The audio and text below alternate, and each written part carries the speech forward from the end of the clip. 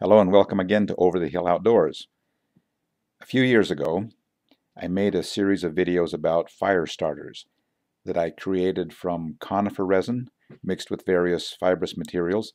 This type of fire starter is much easier to light, it produces a hotter flame, and it burns significantly longer than tinder all by itself.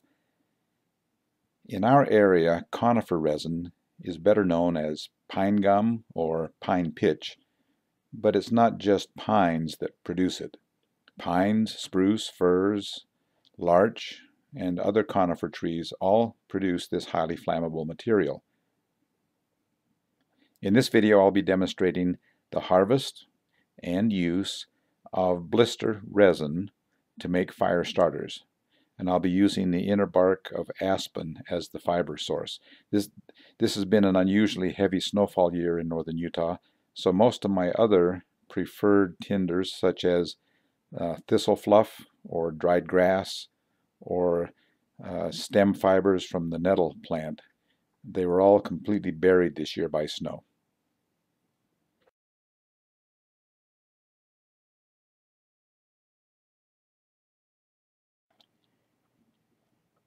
I'll take you with me today on one of my recent snowshoe outings to show you just how easy it is to start a fire using uh, resin from fir tree blisters.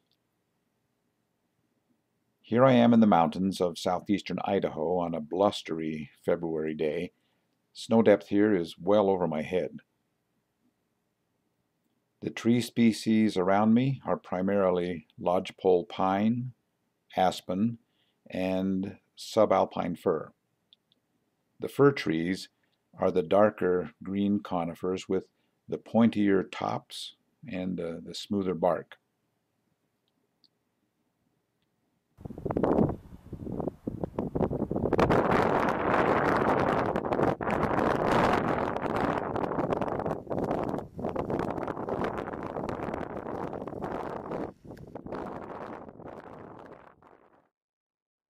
I head for a cluster of trees uh, containing a few firs to see if I can find one with some good blisters.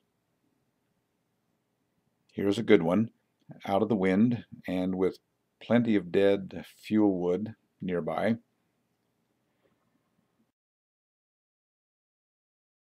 The first thing I do is collect some dry inner bark from a dead aspen tree or two to use as my, my tinder fiber.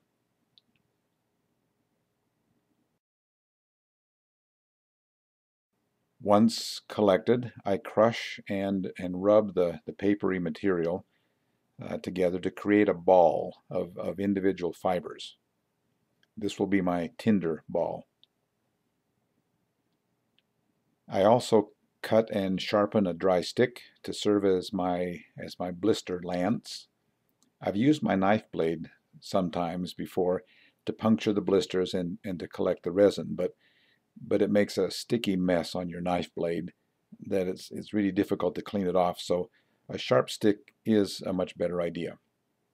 I begin collecting resin by puncturing individual blisters, pressing out the resin, and collecting it on the stick.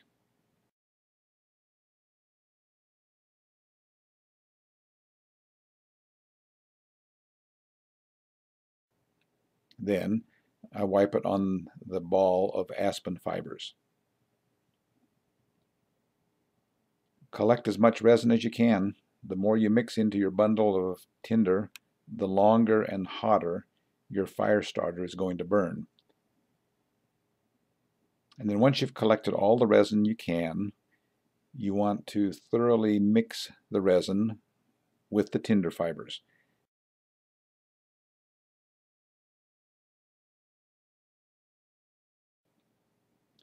Adding a little dried resin to the tinder ball, if you have it, will also extend the burning time of your fire starter.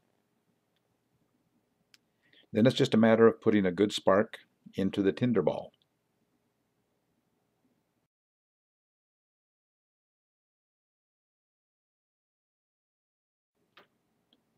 Of course, you uh, should already have collected plenty of dry kindling and fuel wood and have it placed in easy reach so that you can add it as needed to the flame.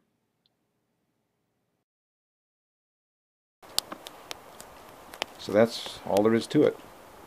Um, I found this to be the most reliable, consistent method of, of starting a fire when I'm um, in wintry, snowy conditions up in the mountains.